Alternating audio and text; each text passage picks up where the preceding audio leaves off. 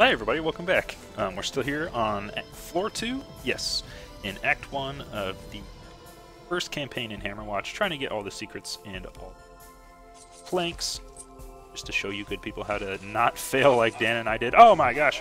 At the end of the first playthrough.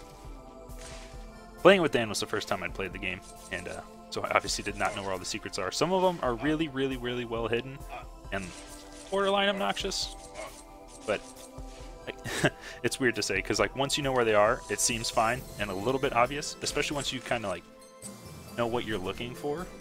Um, even if you don't know where all the secrets are, but you kind of know how to look for the secrets in the game, it becomes much easier to find them.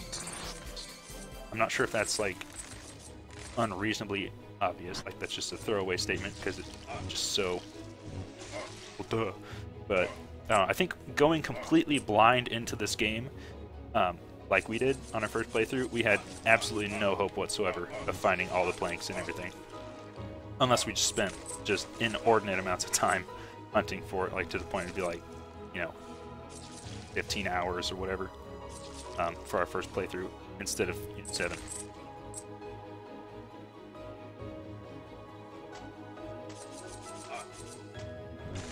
And I mean, ooh, on our first playthrough, like, we didn't even know that there were secrets, like breakable walls and stuff, and like walk-throughable walls. Like I kind of had that in mind because I love Super Metroid so much, and that's kind of like the method for secret hunting in that game is some walls you can walk through and some walls you can break down. So I was like, oh, if it's like that, and it just happens that it was, but I didn't know if that was the case. I mean, so being like to that high of a degree unsure what you're even looking for, I think would make it pretty much impossible to find all the secrets. But if you like had a little bit of background knowledge and you're like, yeah, I need to look for places I can walk through walls and look for places I can break down walls, you might be okay. Especially once you found one of those things. And you kind of, you just have like the background knowledge, like there's one really big secret on each level, or even if somebody said there's like one plank on each level you need to find, then you can keep tracking them. Okay, either on track or not. So I, don't know, I think there's just some little things about this game that you kind of need to know before you can be success. I think I'm just going to go with dagger damage. Um, can't afford poison, and I'm not too upset about it. I probably won't come back for it either. Um, I don't, because I'm pretty sure the poisoning is randomized as well.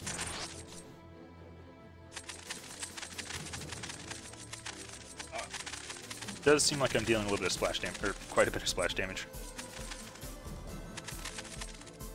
Or like to huge groups, the guy I'm directly hitting takes 19, or I guess 14, then I get I get these um, combos that increases the damage, but then all the splash damage is like 5 to everybody else.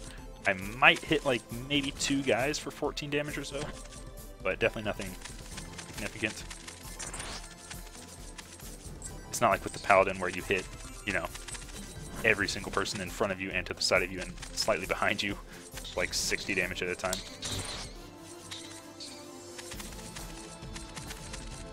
Guess we can just whoa run through here and clear out the area a little bit. And then go back and do some secret hunting. I find that's usually a pretty good approach. Just like if you have a massive combo chain going, just like run through and kill everybody while you're fast and powerful. And then you can come back in a second and like pick up all the gold, break all the pots, which gets a little bit tedious. Honestly, I don't super like breaking all the pots, but it's probably the best source of gold in the game, or at least, yeah, I'd say the majority of the gold comes from breaking the pots.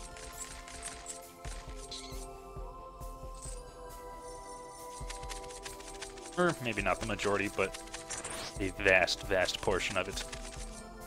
And uh, even then, I don't think you can afford, like if, I've done it where I've broken like every single pot and gone and found every single bonus area and all that stuff, and I still don't think you can afford every single power-up. Maybe you can if you never buy anything extra, like if you never buy potions and you never buy extra lives, then maybe. I can't confirm or deny, but it seems unlikely. So you kind of do have to, to some degree, choose what power-ups you want, but like only slightly. Um, I guess you kind of need to figure out like if combo is going to be super important for you or not, and like what parts of the combo. Like for me, I with the Warlock, whose abilities kind of naturally him back health, I really don't plan on spending hardly any gold on the um, like regenerating health portions of the combo, but I'll probably focus on Nova for sure. I'll probably max out, and then I think I'll get the timer up a bit. I don't think it's necessary to max the timer, especially again with the Warlock, how quickly he can kill tons and tons of people. Uh, I don't really think you need the maximum timer. I guess if you wanted to have combo going constantly, um, a person you'd want to get upgraded timer on is probably the Ranger, or maybe Priest. I don't really know about the Paladin. The Paladin kind of becomes Warlock-esque towards the end of the game. Um, his final ability and the Warlock's final ability kind of work similarly in a lot of ways. Beetle spawn plant. I suppose you could actually get all the power-ups for everybody. You could just find an area where there's like a bunch of spawners and then just never take out the spawners and kill like 20,000 enemies, probably more, and get infinite gold because every now and again they'll drop like 3 gold, but that'd be so tedious. Okay, yeah, so stepping on those four little glyphs on the ground or whatever, um, open up, get a vendor coin. Actually, I think that vendor coin is sometimes a random upgrade as well. I guess vendor coins, I'll just start considering them upgrades. Um, like an upgrade to your bartering skills, I suppose. But yeah, so you get an upgrade and some money. Pretty sure you always get the money. Like you can never get two upgrades. I think. Don't don't take my word for that 100%. But I'm pretty sure I've never got two upgrades there. And I've done it like six times.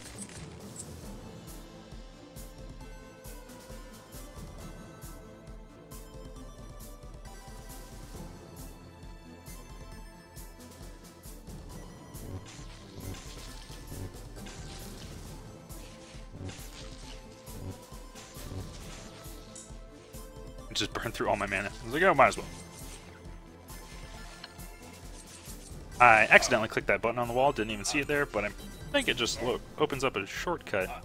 Oh, okay, this goes back to the uh, Vitality Vendor. If you open up both shortcuts, or if you hit both those buttons, then you can come back through here and go down to the level 1 Vitality person, which they only offer mana and health upgrades. Later, the Vitality person offers like speed upgrades and stuff, and is one of my favorite vendors.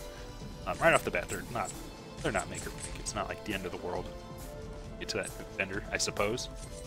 I don't know, it can be. It's I guess I got double mana, which is super useful, but that's pretty much it. It's just like, okay, cool, there's that vendor. I'm not like losing my mind. Like later on, I'm like, yes, speed upgrades.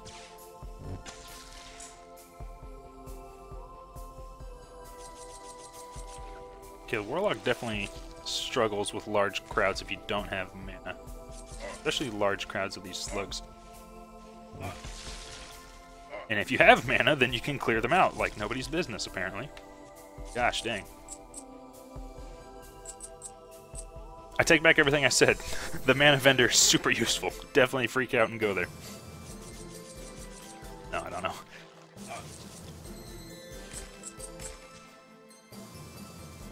Um, guess like the mage and the paladin Ranger. Eh, medium, borderline the thief, but sort of not the thief. Don't really struggle with large groups, even like at ever. I don't think the mage ever really needs mana to be able to deal with it well, and neither does the paladin, especially for um, melee people. But large groups of ranged units, like his shield, is so useful just for blocking all projectiles. Well, not all projectiles. It can't block like totem magic or some type of special lich magic um, but stuff like arrows and these little globu globules, it totally blocks. So like you can just stand in front of a huge group of slugs all day and you won't take any damage at all as a paladin. So huge groups of them never really become a problem as long as you can keep them all in front of you and you'll just block everything. The Warlock is kind of like hit and run. You like slap them twice and like, oh, get out of the way. But the Warlock has fairly decent health to make up for it. Oh, so here's another secret. Um, break down this wall. That puts in a chest.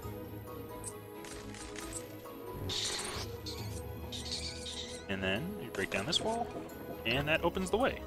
So I guess out of the two, this one's more useful because it actually allows you to get the plank, but there's no reason not to hit both of them. Nice. Early on, those guys are hard to deal with with melee, um, just because you have to like time your movements really well.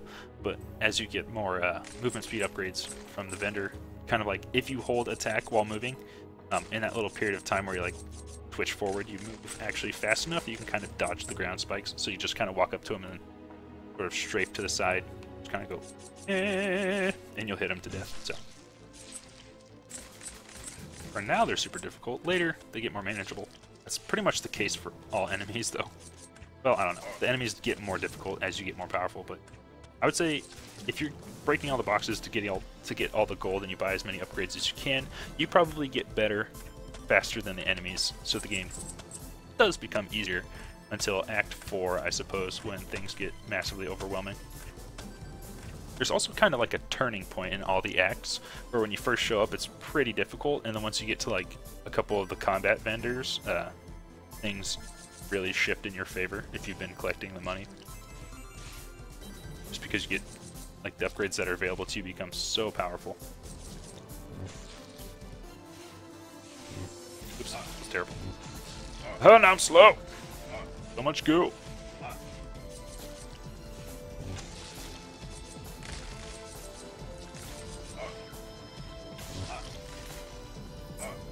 I have not been doing a good job of paying attention to my mana. Um, I feel like with the Warlock, you're either super handicapped or like super overpowered depending on how much mana you have. Like if I'm going into a huge fight and I have like 75 mana, it's pretty much just like, oh, okay, I instantly win with no trouble. And if I have no mana, it's like, well, this is going to be quite the struggle. And so I think one thing that's important to do with this guy at least is just kind of like check before you go in to see how much mana you have, and then you decide if you should go in super hard or not. Like right now, I could probably attract all these beetles and then just like destroy them all. Oh gosh, I've done exactly that. Yeah, see. Especially once you kill enough to get a combo, because then your chain lightning just wreaks havoc. Another good tip is strafing backwards with melee characters. Like if this guy hits me, he'll do so much damage, but if I kind of like stay close but keep strafing backwards, as long as I'm not standing still or like very nearly standing still, he can't really hit me. Um, which means I can just do insane amounts of damage on him, compared to like the mage or um, the ranger, or definitely the priest. If you're just right up in somebody's face with any of the melee characters, you'll deal crazy amounts of damage super fast.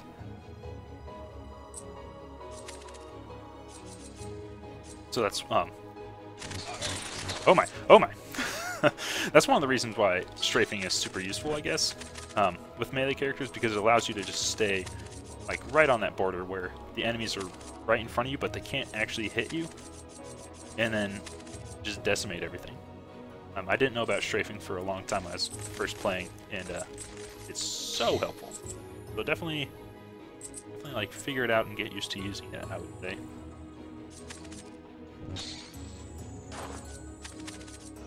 Alright, to get that uh, extra life, you just have to go over here. There's a secret wall.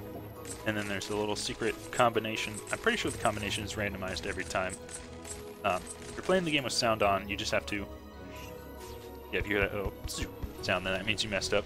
Uh, if you don't have sound on, pretty much just hit the button and then run away, because um, by the time... Oh, that was lucky. just started stepping on buttons. By the time the bombs start falling, um, you don't really have time to get out if you didn't hear the little prompt. Sometimes when I was playing this game, I like to just put on some nice music in the background and then turn off the game sound, and uh, I got blown up several times in rooms similar to that.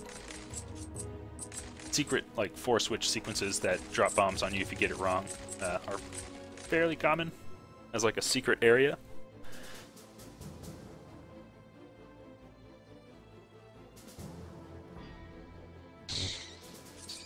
and they usually just trigger something. Sometimes they, they do different things every time. Sometimes they like will open a bridge.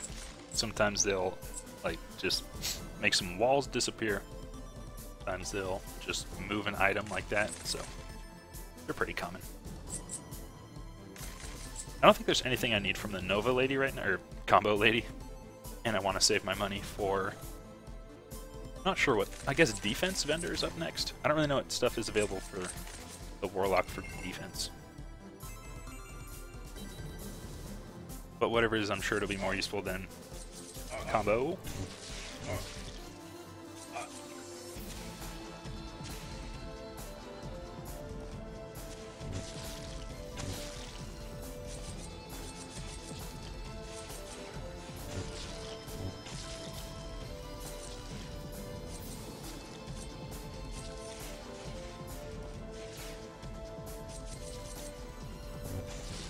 Oh, nice.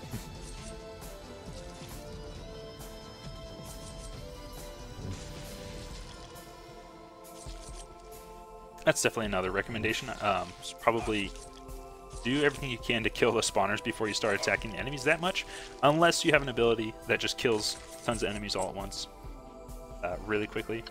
Oh, there's a secret button right there, and it opens up a secret rejuvenation shop. How about that? Um, like I think in one or two of those circumstances, I ran up and there was like a huge clump of those lower level maggot dudes, and just shoot. I mean, for the warlock, you have chain lightning, which works wonders, and then I guess for I don't know other characters might have other useful options for killing large groups of people.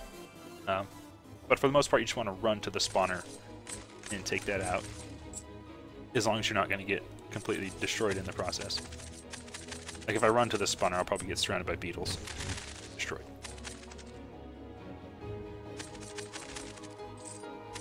Notice now as I do it, and it's happening.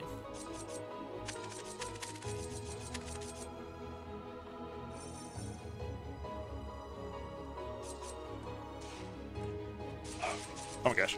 Oh, oh my gosh. Get out of here.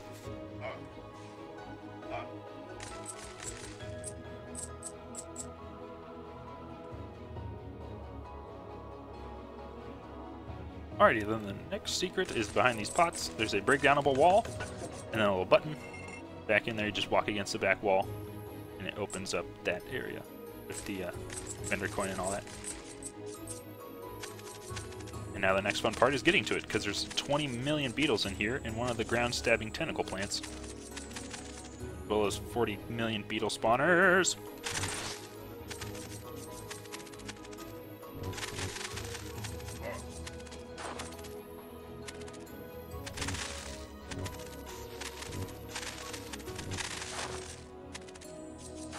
But, oh my gosh.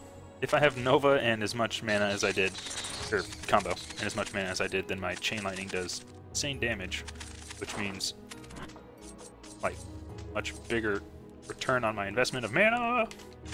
And it was already a pretty big return in the first place, so that's kind of why I just sprinted in there, because you just shoot off a thousand Chain Lightnings and pretty much destroy everything. Because I had combo going. So there's like, there's kind of ways you can turn a bad situation into a good one. Like a room full of enemies and a ground stabber doesn't really seem like the best thing at first, but if you kind of rope up all the enemies together into a big clump, that usually allows you to kind of turn it in your favor. Having a ton of enemies in front of you is pretty much always a good thing. Um, having a ton of enemies around you is always a bad thing.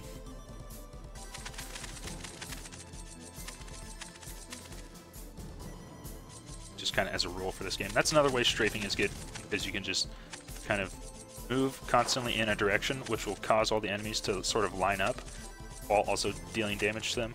Um, I don't know, strafing is just great. It's just great for everybody.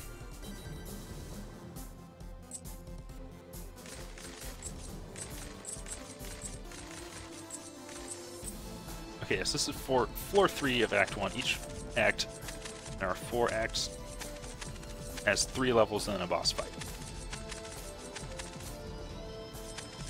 And the boss fights don't count as a floor, so like the highest floor in the game is floor 12, but it's actually, then I guess there's technically a floor 16 if you just count the number of floors right after it. Um, so I guess, I don't know what that means for everybody. I think I missed a key somewhere.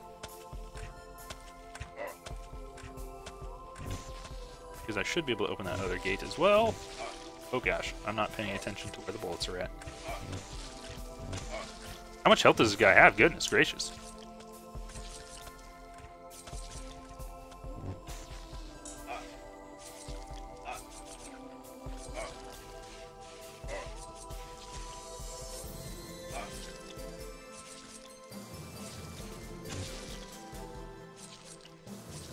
Chain Lightning chooses its targets, like it skipped over a dude right next to it and hit a guy behind it. Hmm. Don't ask me. I'm not the expert. Talk to Dan about it. He knows what's going down. Don't shoot me, no!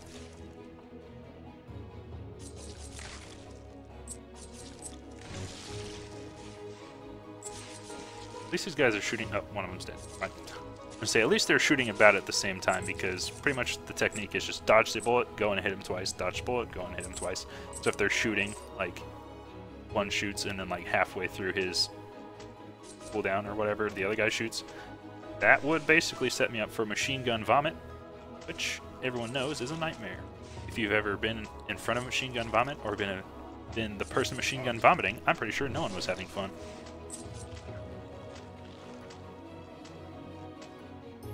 Okay, so we got that last bronze key, so I think I'm just going to run back and open up that door, and then that'll be it for this video. I guess we've only seen a couple of the secrets on floor 3 so far. Um, trying to remember where the plank is on this level. But I guess the third floor of each act also always has the bonus stage, so we'll get to get to that in the next video. And um, I'll probably remember where that plank is, and whoa! Go get it done. So, but until then, everybody, keep it trashy.